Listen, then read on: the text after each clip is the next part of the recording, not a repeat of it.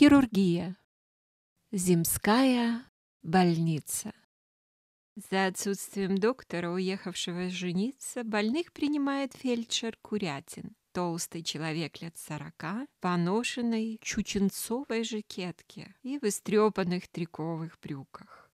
На лице выражение чувства долга и приятности. Между указательным и средним пальцами левой руки сигара, распространявшая зловоние. В приемную входит дьячок Вон Меглазов. Высокий, коренастый старик в коричневой рясе и с широким кожаным поясом. Правый глаз с бельмом и полузакрыт. На носу бородавка, похожая издали на большую муху. Секунду дичок ищет глазами икону и, не найдя таковой, грестится на бутыль с коралловым раствором. Потом внимает из красного платочка парасфору и с поклоном кладет ее перед фельдшером. «А, мое вам!» — зевает фельдшер.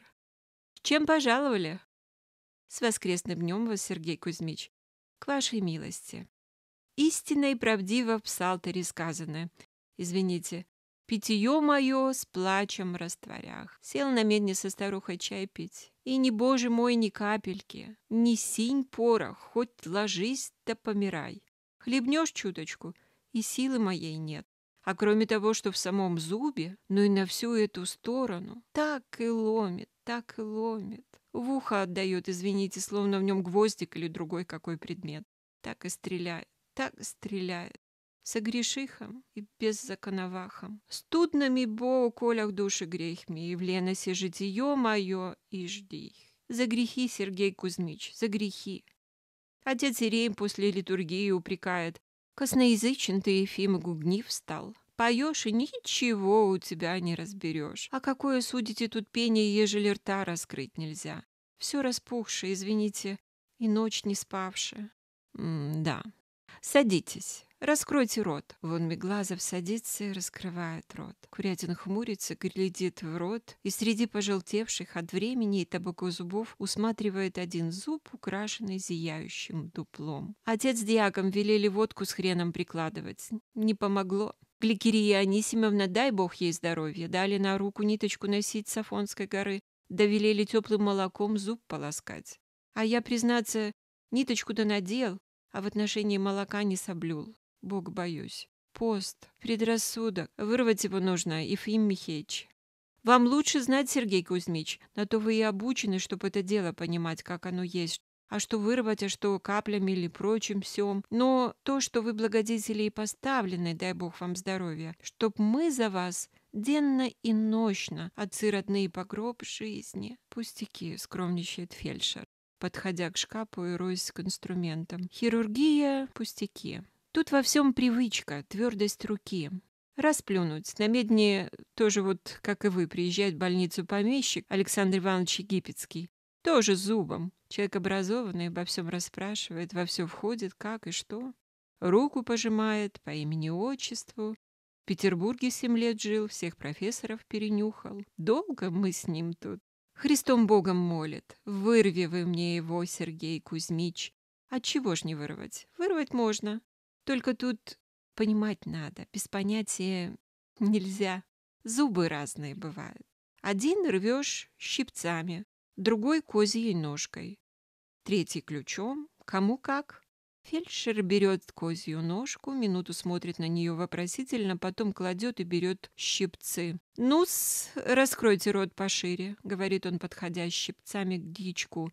«Сейчас мы его того расплюнуть М, тесну подрезать только. Тракции сделать по вертикальной оси.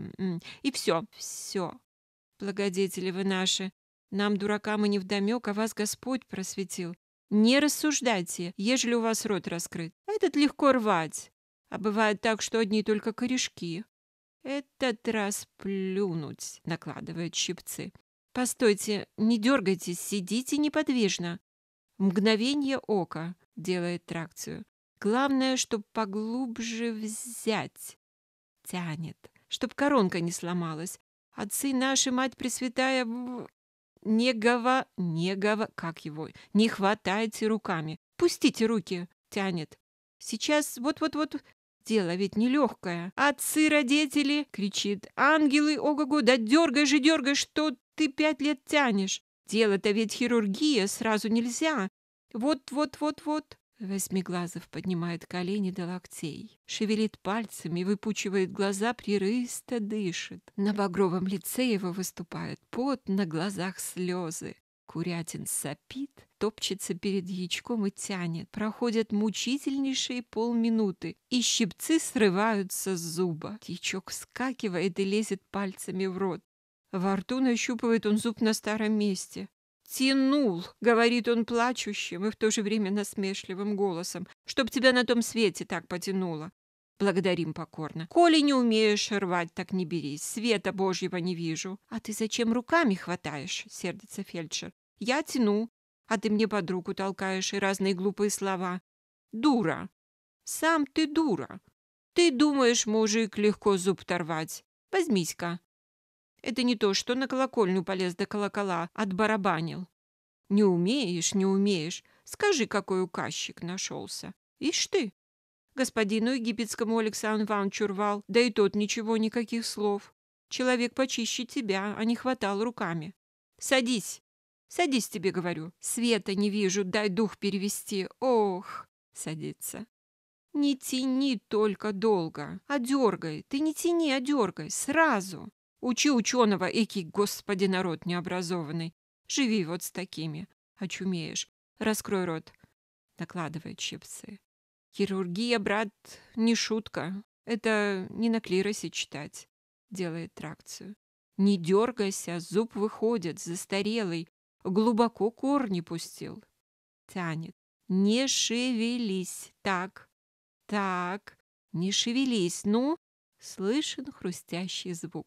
Так и знал. Ван Миглазов сидит минуту неподвижно, словно без чувств. Он ошеломлен. Глаза его тупо глядят в пространство, на бледном лице пот. «Было бы мне козьей ножкой», — бормочет фельдшер. «Какая оказия!» Придя в себя, дьячок сует в рот пальцы и на месте больного зуба находит два торчащих выступа. «Паршивый черт!» — выговаривает он. «Насажали вас здесь, иродов, на нашу погибель. Поругайся мне еще тут!» — бормочет фельдшер, глядя в шкаф щипцы. «Невежа! Мало тебя в бурсе березой подчивали. Господин Египетский Александр Иванович в Петербурге лет семь жил.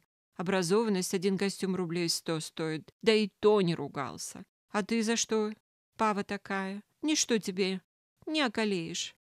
Дичок берет со стола свою просфору и, придерживая щеку рукой, уходит во свояси.